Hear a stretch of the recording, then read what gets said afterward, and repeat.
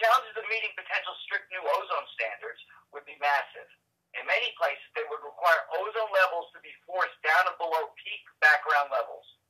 That's because ozone is created naturally. It is present and can be detected at significant levels everywhere, including the nation's parks and wilderness. Today, we are releasing non-attainment maps that show the geographic reach of the standards we believe EPA is considering. Note that the current ozone standards are 75 parts per billion. Standards of 60 parts per billion, which EPA could propose, 97% of the population will live in places out of compliance and subject to new emission reductions requirements. With potential strict standards that approach or even more or or are even more lower than naturally occurring levels, virtually any human activity that produced emissions could ultimately be restricted or affected.